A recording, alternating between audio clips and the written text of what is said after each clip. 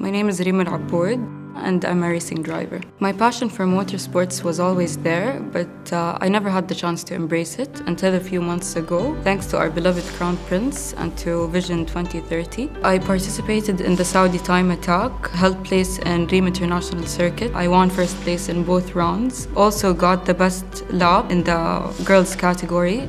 After Nissan saw my results, I had to fly off to France, Le Mans, to visit uh, e.dams to practice on the professional simulator, which had the exact uh, Formula E car and the official Ad circuit. As Formula E drivers themselves say, it is one of the most hardest Formula E circuits around the world. I've never in my life imagined that I'd ever drive a Formula car in my country. It's basically a dream come true. Now it's our time to represent our country in the best way possible. There is never an end to education and improvement.